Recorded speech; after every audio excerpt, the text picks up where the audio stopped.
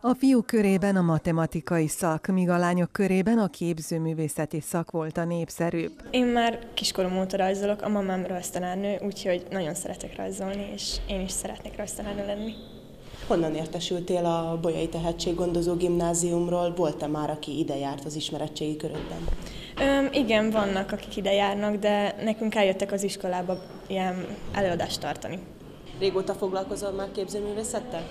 Kilencedik év, vagy foglalkozom vele. Pontosan mely ágával foglalkozol? Mi érdekel a legjobban? Hát legjobban a grafika érdekel, illetve egy kicsit a festészet is, de a grafika az a fő ág, ami nagyon érdekel.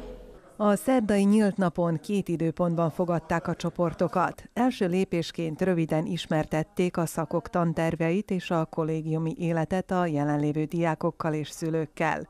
Ezután a diákoknak lehetőségük volt bepillantani a tanórák menetébe is.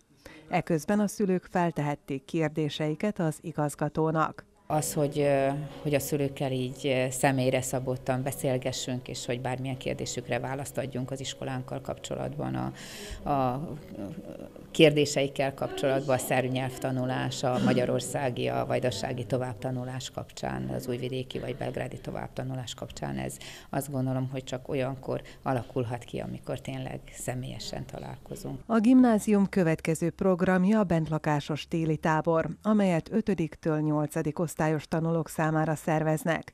Ezt követően február közepétől elkezdődik a felkészítő, ahol a jövendőbeli diákok olyan feladatokkal ismerkedhetnek meg, amilyenek az érettségi hétvégén is várnak rájuk. Meghatározni, mit magyarázza az létfogalmát?